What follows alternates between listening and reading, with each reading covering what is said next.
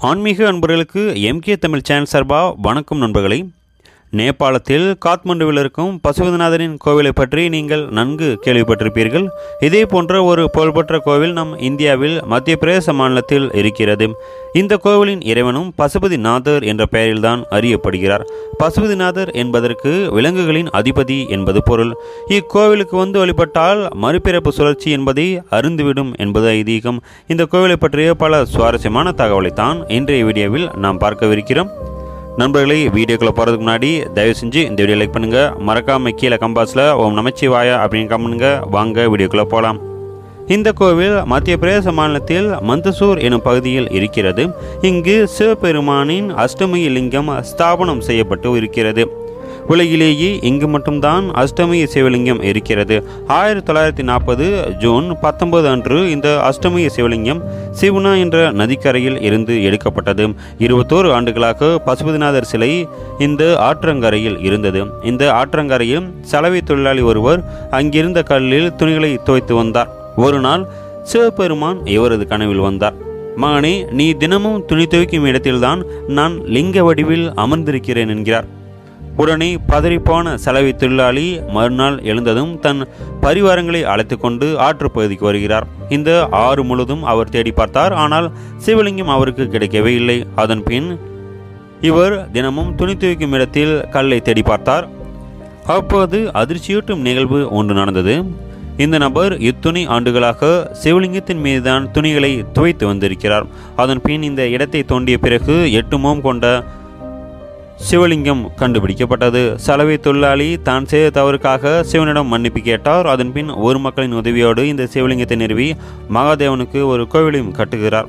தற்போது மத்திய பிரதேச மாநிலம் மன்சூர் மாவட்டத்தில் சிவனா நதிக்கரைக்கு அருகே இந்த புகழ்பெற்ற பசுபதிநாதர் கோவில் இருக்கிறது. இங்குதான் அஷ்டமிகி சிவலிங்கமும் வழிபடப்படுகிறது. சிவபெருமானின் எட்டு முகங்களும் வாழ்க்கையின் எட்டு நிலைகளை குறிக்கின்றன. சிவபெருமானின் எட்டு முகங்களை பற்றி இப்போது நாம் தெரிந்து கொள்வோம்? சர்வ். சரு என்பது பூமியை குறிக்கும் சிவனின் சக்தியை குறிக்கிறது.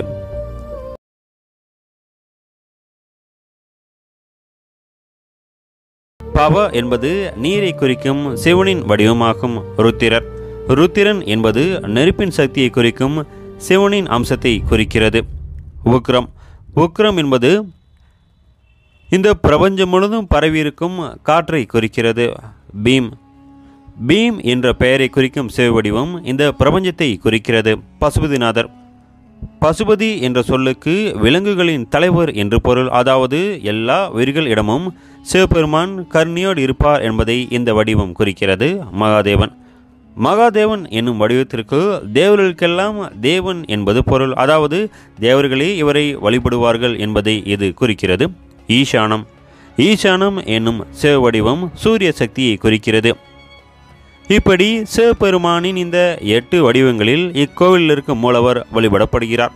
ஆயிரத்தி தொள்ளாயிரத்தி அறுபத்தி ரெண்டில் இந்த சிவலிங்கம் கோவிலில் பிரதிஷ்டை செய்யப்பட்டது. ஆராய்ச்சியின்படி இந்த சிவலிங்கம் ஆயிரத்தி ஐநூறு ஆண்டுகள் பழமை வாய்ந்ததாக கருதப்படுகிறது. வரலாற்று ஆசிரியர்களின் கூற்றுப்படி இந்த சிவலிங்கம் பேரரசர் யசோதவர்மனால் ஐநூற்றி எழுபத்தைந்தில் கட்டப்பட்டிருக்கலாம். இஸ்லாமியர்கள் இந்தியா மீது படையெடுத்து வந்தபோது அந்த கொடுங்கோளர்கள் இடமிருந்து காப்பாற்ற இந்த சிவலிங்கம் சிவனா நதியில் வீசப்பட்டிருக்கலாம் என்று ஆராய்ச்சியாளர்கள் கருதுகிறார்கள். இந்த சிலையின் மேல் பகுதியில் இருக்கும் நான்கு மோங்களும் முழுவதும் செதுக்கப்பட்டிருக்கும். அதே சமயம் கீழே இருக்கும் நான்கு மோங்களும் கட்டுமான பணியில் இருந்திருக்கலாம். மத்திய பிரதேசத்தில் இருக்கும் இந்த பசுபதிநாதர் கோவில் நேபாளத்தில் இருக்கும் பசுபதிநாதர் கோவிலோடு தொடர்புபடுத்தி பார்க்கப்படுகிறது. மத்திய பிரதேசத்தில் இருக்கும் சிவலிங்கம் அஷ்டமுகி என்னும் பெயரிலும் நேபாளத்தில் இருக்கும் சிவலிங்கம் நான்முகி என்ற பெயரிலும் அறியப்படுகிறது. உலகிலேயே இந்த மந்தபூர் கோவிலில்தான் அஷ்டமி சிவலிங்கம் பிரதிஷ்டை செய்யப்பட்டுள்ளது. பக்தர்கள் உலகம் முழுவதும் இருந்து இந்த கோவிலுக்கு வருகிறார்கள். கோவில் ஒண்டியலில் இந்திய பணம் மட்டும் கிடையாது. லட்சக்கணக்கில் வெளிநாட்டு கரன்சியும் போடப்படுகிறது. கடந்த ஆண்டு மட்டும் ஐந்து கோடிக்கும் அதிகமாக வெளிநாட்டு வருவாய் இந்த கோவிலுக்கு கிடைத்திருக்கிறது. சிவராத்திரி தினத்தன்று அதிகப்படியான பக்தர்கள் இக்கோவிலுக்கு வருகிறார்கள். இந்த அஷ்டமிகி பசுபதிநாதரை தரிசனம் செய்வதன் மூலமாக அனைத்து பக்தர்களின் விருப்பங்களும் நல்லபடியாக நிறைவேறுகிறது. நன்றி நண்பர்களே இந்த வீடியோ உங்களுக்கு பிடித்தால் லைக் பண்ணுங்கள் இந்த வீடியோ தொடர்பான உங்களோட கருத்துக்களை தயவு செஞ்சு மறக்காமல் கீழே கமெண்ட் எழுதுங்க நன்றி.